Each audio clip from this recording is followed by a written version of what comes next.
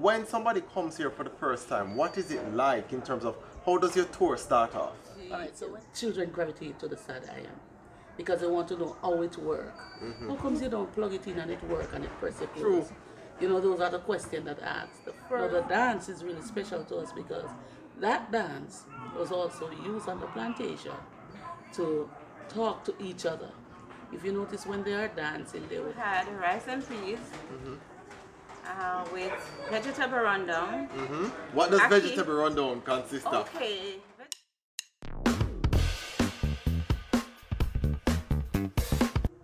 The Maroons have a very important and interesting culture, especially for us who live in the Caribbean. Today I'll be at Asafo Yard in Charlestown where I learn about their dancing, their instruments, and how they use all of this to convey information. Kareem's Quest. Travel different from the rest. You're watching Kareem's Quest. Always an adventure when you're watching Kareem's Quest.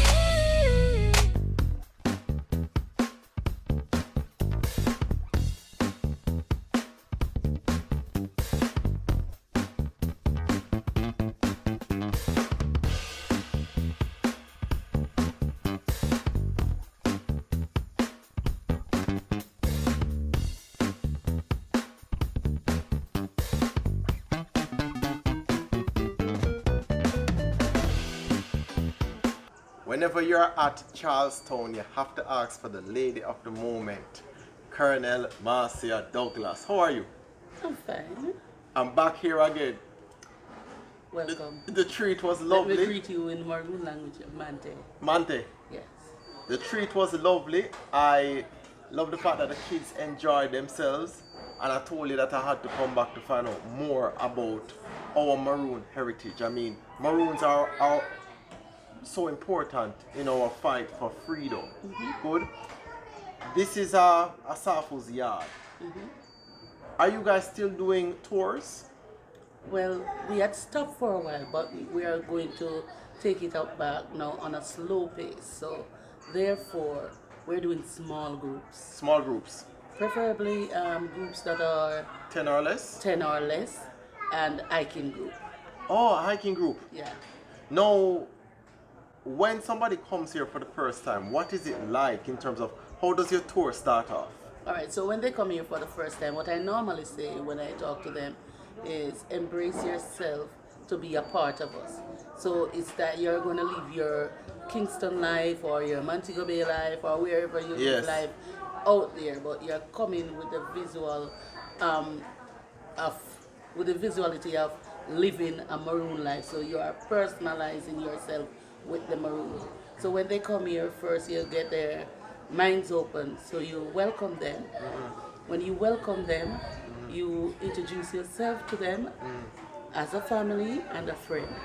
Then giving them all that warm introduction. Now it's COVID time, so you know you go through the protocols of washing hands, wearing masks, testing, sanitizing, right? right?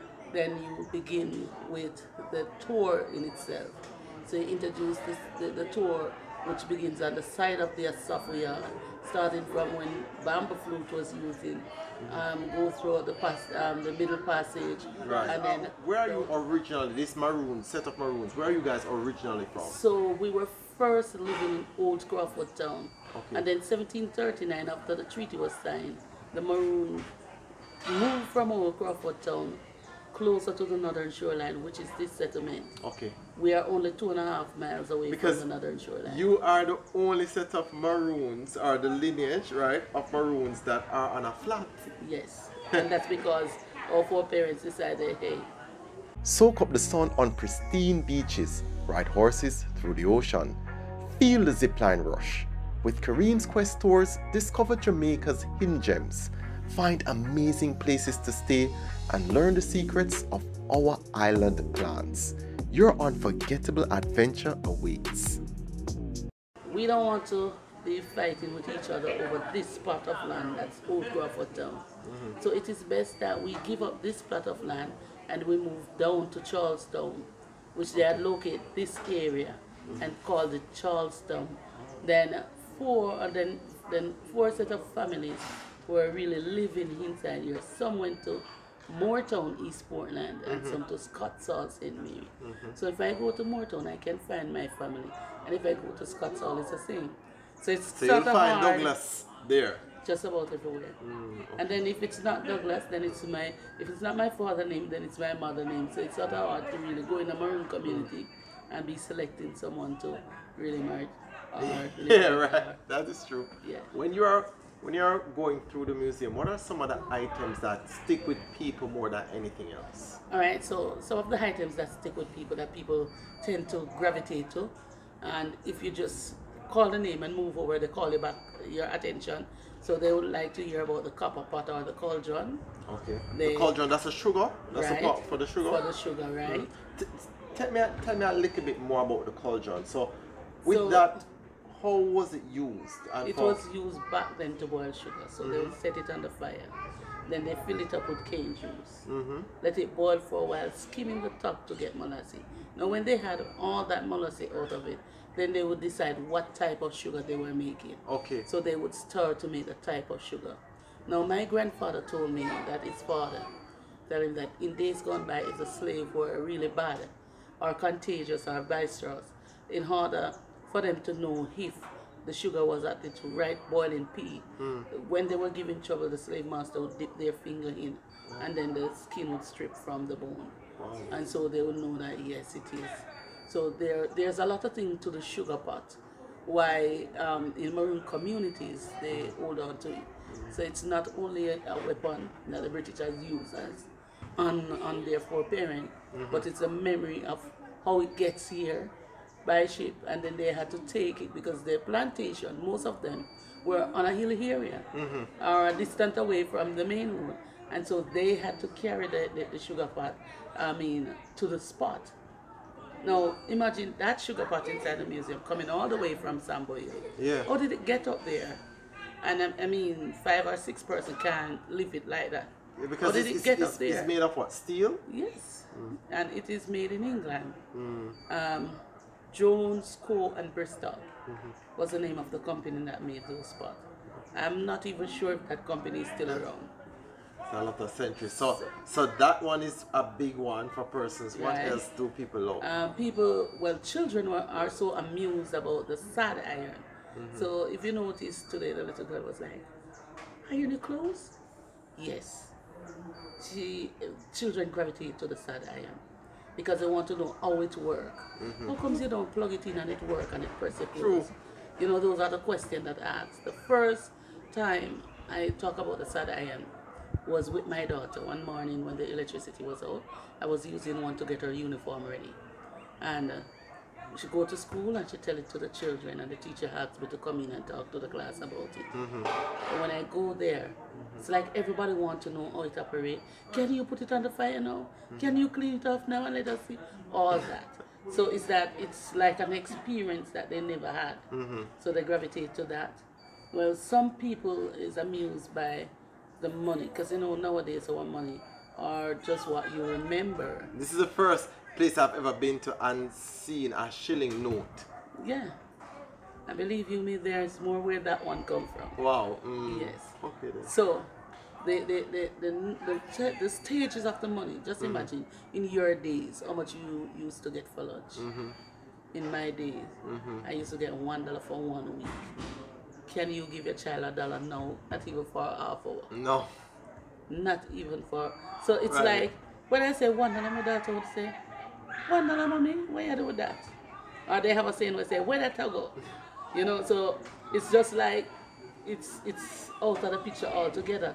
But then when you have it in stage, this is what our twenty dollar look like. This is what our five dollar. So you're look like. bringing back real things to show kids what the history was, was like. was like. So it's taken from the past, bringing This must the be a future. lovely tour for kids who are in like fourth form and doing history. Believe me, They're when, supposed when to the love it. SBA question come, mm-hmm. that is when I find out how much they really enjoy doing history. Right? Because the question that asks about the Maroons, how can they this, did the Maroon that, in what century the Maroon. So all those just come in the picture and you can see whether or not a child take interest in history at school mm-hmm. or whether or not they would like to do more about history or if the history is well taught in school. So these are some of the really good experience. Afterwards, you take persons to this to observe this lovely dance ritual. Mm-hmm. What is that ritual called and, and why why is it so important? So it's a Kramanti dance. Kramanti. Right. Now, Kramanti is coming all the way out of Ghana, we know that. Okay. But some of our tribe that came here to Jamaica as a Maroon Kramanti tribe. So most of them would speak the Kramanti language, which mm-hmm. I say to you, Medasi, it would have been thank you, which is Kramanti language. Okay. Mante, mm-hmm. which is welcome, which is Kramanti language. Okay. Akwaba, mm-hmm. it's like good morning, good evening. It's Kramanti language. So some people still speak those languages. Now the dance is really special to us because that dance was also used on the plantation to talk to each other.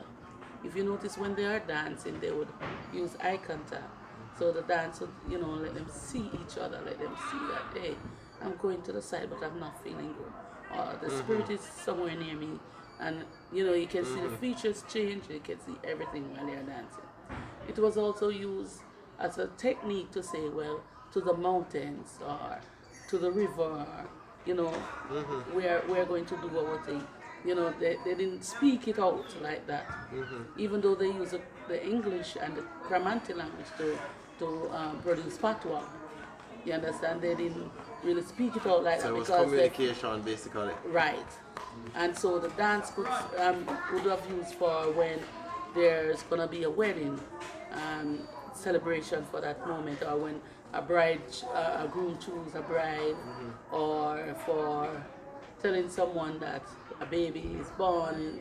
You know, they, they use dance in a different way to say, well, then we're doing it. The songs in itself speak. Um, where there, Ilo, Tanwaro. Mm-hmm. Just imagine they are going to fight. Mm-hmm. Where are we going to start the fight? Okay. So when they say where there, Ilo, Tanwaro, that's where we are still fight. We go up on the hill. So mm-hmm. everybody know that you're going to the hill to really do a fight. So and I noticed that you use your horns and everything like that to convey message. So message surreptitious messages were conveyed through different means, through, Through dance, means, dance, horns, everything like that, drums. Yes. So all of these um, speak to us.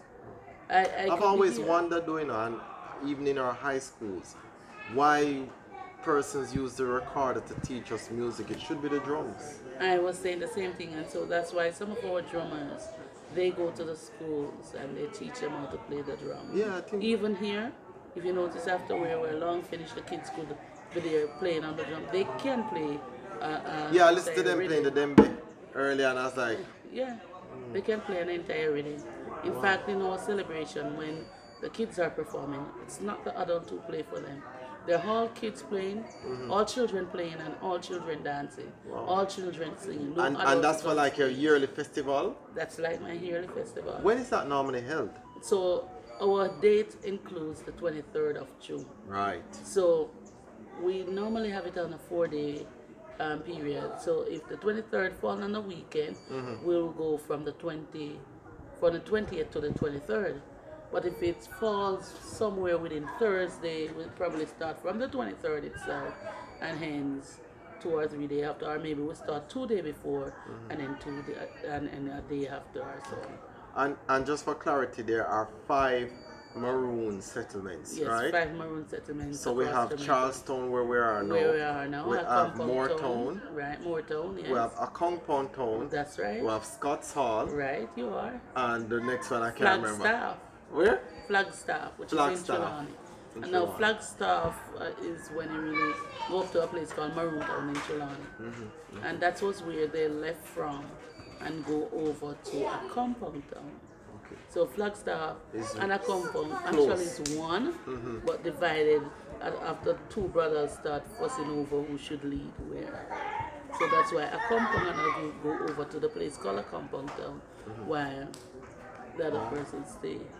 Is there any festival that incorporates all the maroon tones? Yes, those that festival, the, the Maroon Festival for each dates of the Maroon communities. So in Charlestown, we are in June. So Accompong and the other Maroons would come up mm-hmm. in August 1st would, be- would be Scott's Hall. So everybody meets up at Scott's Hall. Mm-hmm. Whenever Heroes Day fall on would be Moore Town. So everybody would meet in Moore Town. Um, Flagstaff is March 1st. Mm-hmm. So everybody meets March 1st. And Accompong town would be the 6th of January. Mm-hmm. So everybody meet on the 6th of January. If we don't meet physically, mm-hmm. like we did this year, we do mm-hmm. virtually. But we do incorporate everyone. Colonel Douglas, it was a pleasure talking to you. Uh, I have so much respect for freedom fighters across the world, but more so Maroons in Jamaica because I am Jamaican, right? So I'll have some of your ital food now. which is lovely. All right. Our foreparents used to say, our, our grandparents used to say, you can turn your hand, use a make fashion. All right. That's true. Much respect. Blessings. To find all the Kareem's Quest content in one place, visit the website kareemsquest.com. You'll see colorful adventure stories, a lot of pictures of Jamaica's beautiful landscape, and articles that highlight the many unique things about Jamaica. It's all at kareemsquest.com.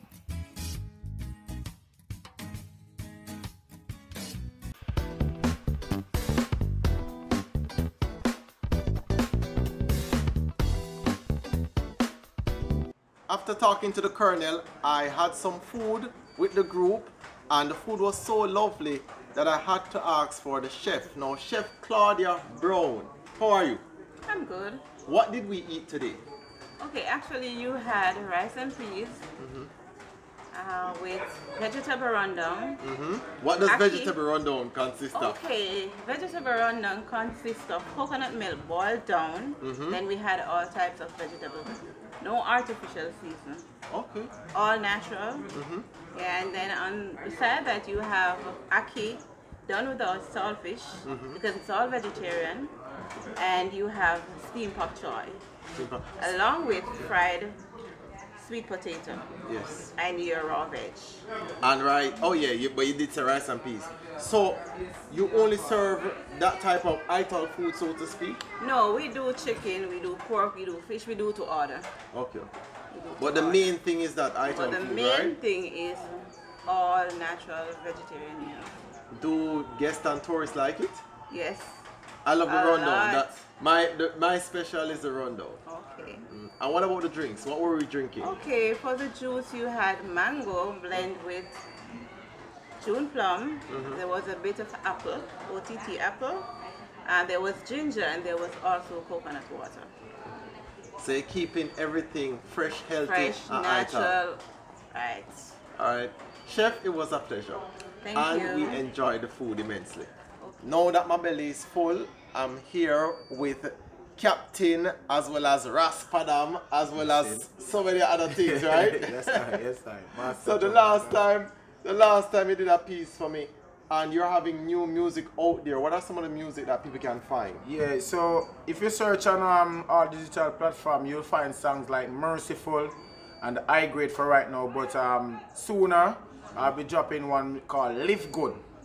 You know, telling you that in, in, in life you have to be confident, confident to pursue whatever you need, you know.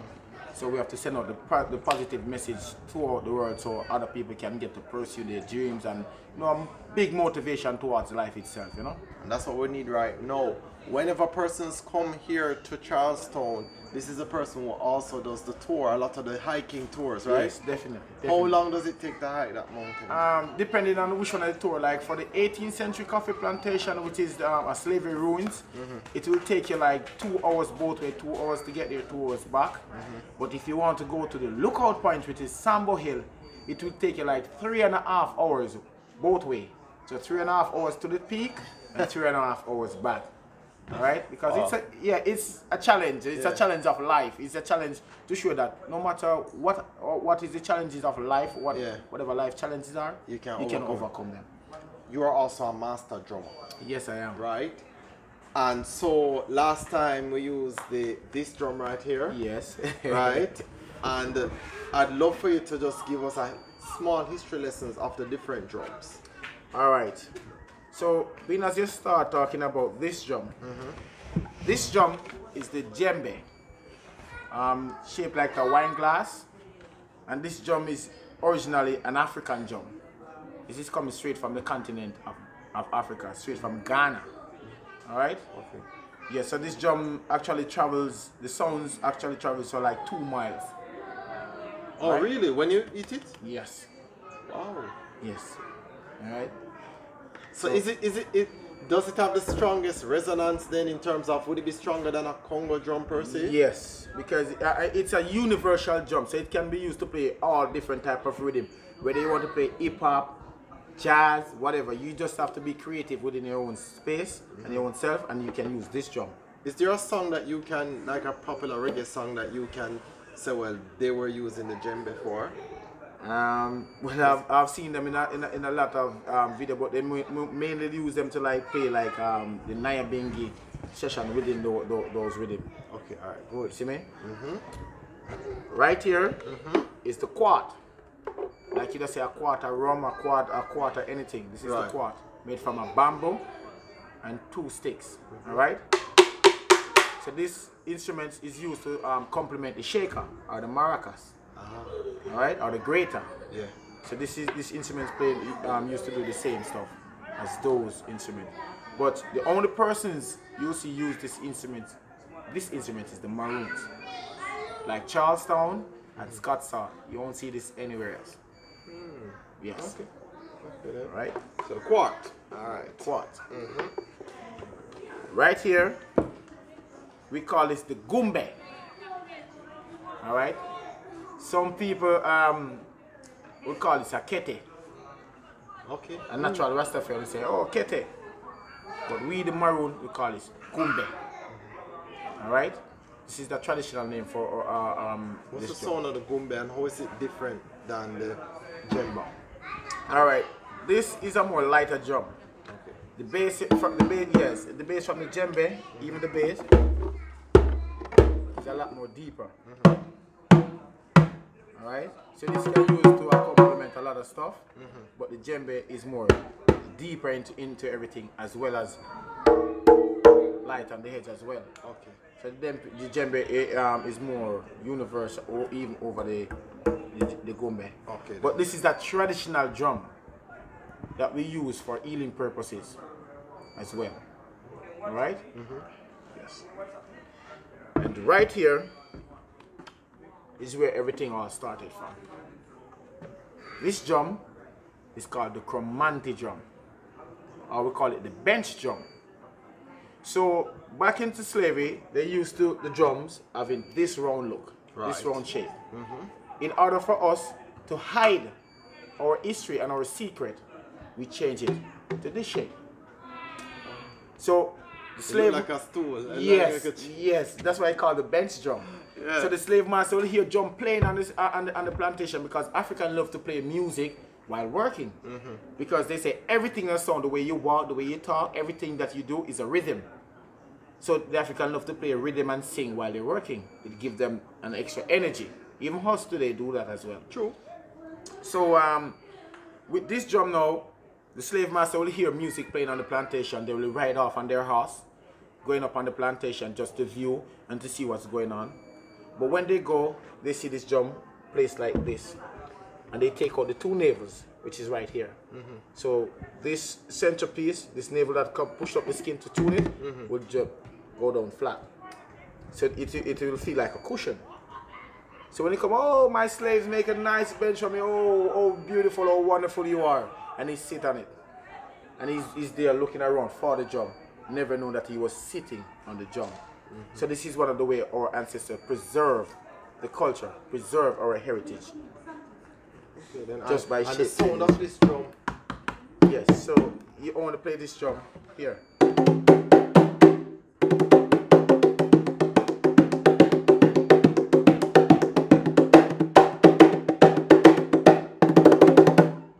Alright? it, it, it has its own sound. And this is normally called the chromantic healing drum. So we don't do our healing ceremony without this drum. This is the center of our healing. Alright? Raspadam. Yes. As usual, this is great knowledge for me. Thank you very much for sharing so much rich history Yes.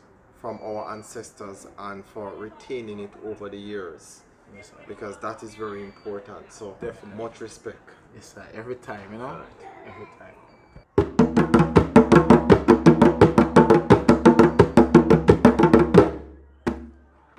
Just been watching another lovely episode of Kareem's Quest. I've learned so much about Maroons and Maroon Town and so many ways that they have used to retain their history, as well as the importance that instruments play in them conveying messages and celebrating life. As usual, people, stay safe and walk good.